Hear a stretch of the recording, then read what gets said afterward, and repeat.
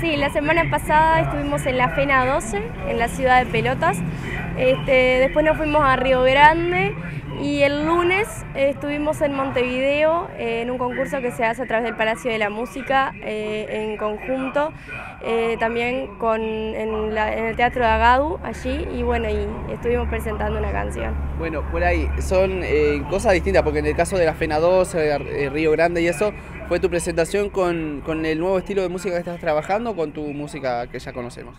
Sí, en realidad hace algún tiempo que, vengo tratando de hacer cosas diferentes que también me gusten, eh, lo hablábamos por allí eh, eh, en otros encuentros, tratando de, darme la posibilidad de conocer cosas nuevas y también experimentar, ¿no?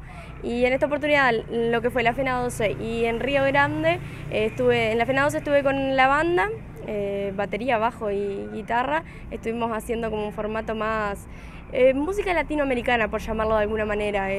Clásicos también, por decirte algo, Shakira, Maná, eh, entre otros, súper conocidos en nuestra región, que también en realidad en aquella zona son conocidos, pero no tanto. Entonces tratamos de, bueno, de hacer un estilo diferente que también nos gusta en general y después en Montevideo sí fue diferente porque versionamos una canción de Cita Rosa, Stephanie, que es un clásico, eh, y también volvemos a lo nuestro. Entonces nos estamos moviendo como en diferentes lugares. ¿Fue un concurso Montevideo? Sí, un concurso que se llama El Siglo de la Música.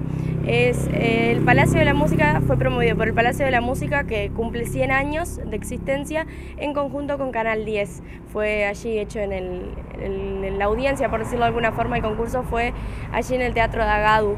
Este, y bueno, y va a salir creo que por Canal 10 a partir del mes que viene.